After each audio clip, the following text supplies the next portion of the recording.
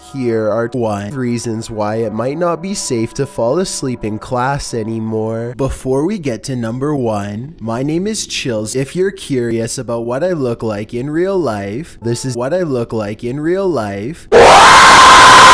2 reasons why it might not be safe anymore. Number 2,